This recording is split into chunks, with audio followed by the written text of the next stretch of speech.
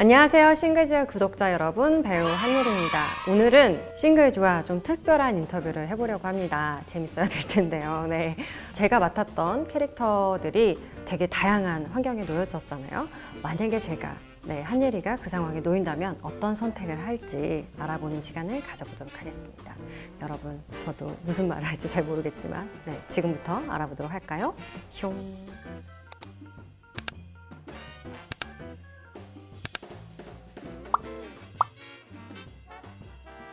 그래도 사랑은 포기하지 않는다. 일단은 아무리 힘들어도 20대 연애는 되게 중요한 것 같아요.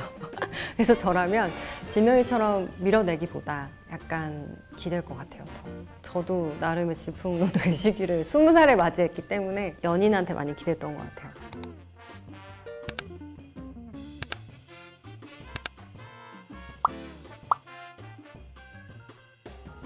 약간 집요한 구석이 있어서 억울하다면 끝까지 밝힌다. 함애들을 다 데리고 다 같이 가서 끝까지 그 사람을 찾아내지 않을까요? 이거 응징해 줄 것 같아. 네.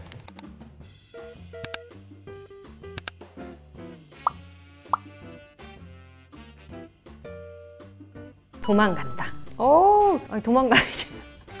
살려주세요라고 외치면 너무 무섭지 않아요? 거기까지 와가지고 왜, 왜 찾아와? 어머, 어떡해. 순간 그런 생각 들 것 같아. 아, 그래. 나의 선택은 잘못되지 않았어. 이 사람은 이상한 사람이야. 라고 생각할 것 같아요.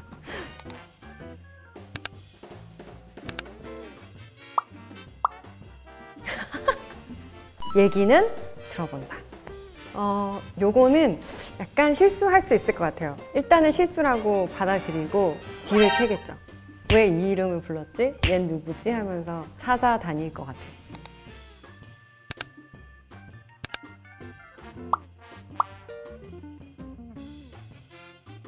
자연스럽게 연락처를 묻는다. 춘몽의 상황에서 되게 보면은 건강하지 못해요. 예리 주변에 있는 사람들이 건강한 사람을 너무 만나고 싶었을 것 같아요. 그런 사람들을 놓치면 안 된다고 생각이 들어서 덥석은 아니더라도 가서 물어본다.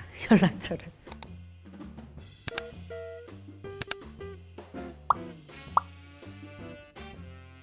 좀 오지랖이 넓은 편이어서 원래 저는 술을 사요. 그리고 물어보죠. 아유 어쩌다가 이렇게 됐냐? 왜 그랬냐? 네 앞으로 뭐 어떨 것 같냐? 막 이런 거 막 물어보는 타입이어서 저는 술을 한 잔 산다.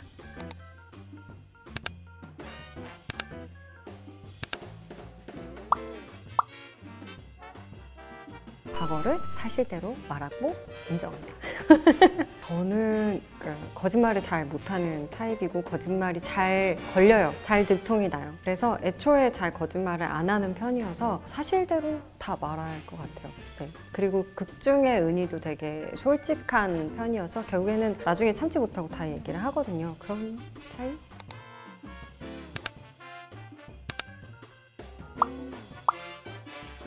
이건 좀 어려운데 너무 도시여도 진짜 갑갑할 것 같고 너무 아무것도 없어도 왜냐면 아이가 또 아프니까요 항상 좀 겁이 날 것 같아요 그래서 도시인데 조금 한적한 데는 안 될까요? 도시인데 왜 이렇게 약간 정원이 있거나 뒷산이 있고 막 이런 데 있잖아요 그런 데로 해주시면 네 좋겠네요 두 개 다 가져가고 싶네요 네.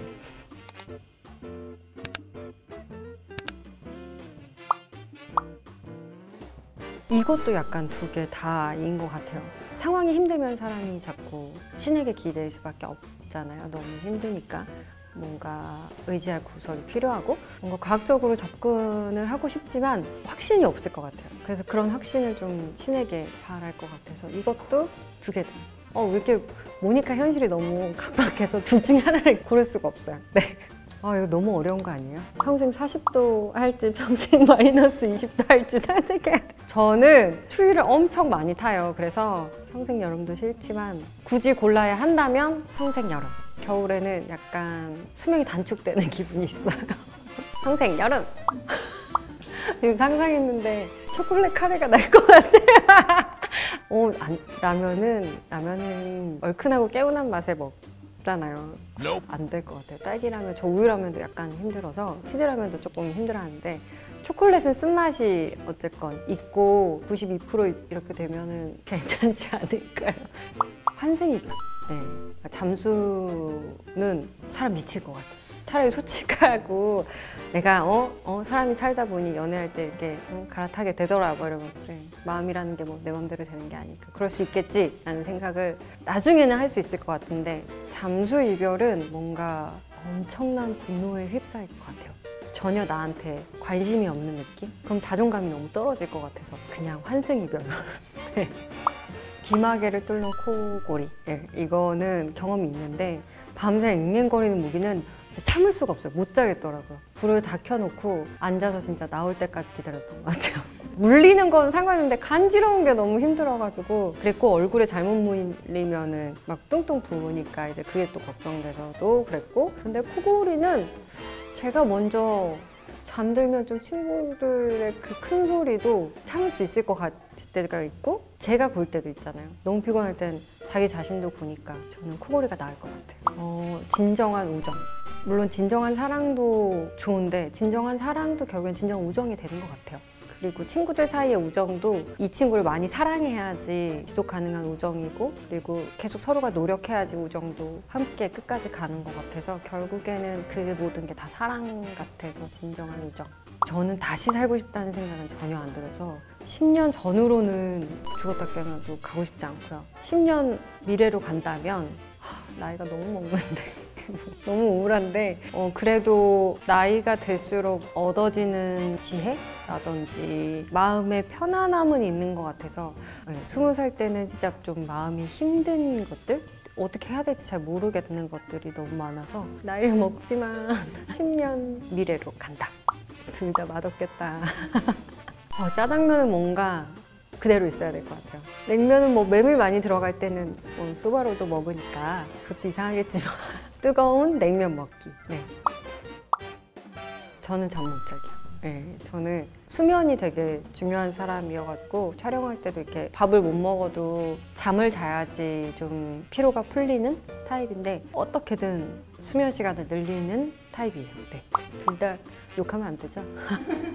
제이콥 같은 아들이면 좀 고마울 것 같긴 해요. 어찌됐건 독단적이긴 해도 아들이니까 개선의 여지가 있잖아요. 얘야, 와이프랑 상의해야 된다. 너는 그렇게 크면 안 된다. 엄마한테도 그러면 안 된다. 막 이런 얘기를 해줄 수 있을 것 같은데 아빠는 고집불통이니까 말을 전혀 안 들어줄 것 같아요. 그래서 제이콥 같은 아들이 훨씬 내 손 안에서 개선할 여지가 있다. 네, 그래서 제이콥과 같은 아들.